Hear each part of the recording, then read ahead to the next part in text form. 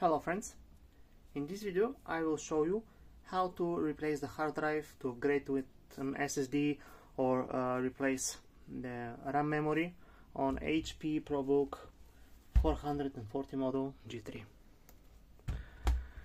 Turn it around. First, remove the battery. Slide the sliders and take it out.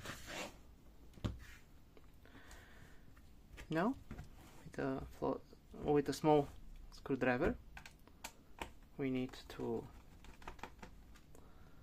unscrew this screw, then slide down this cover.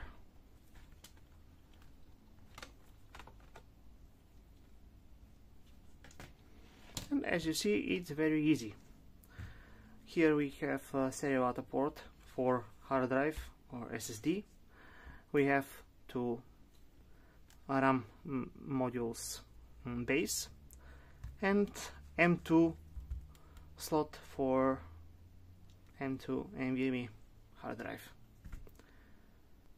You know, if you want to replace RAM memory, just take it out,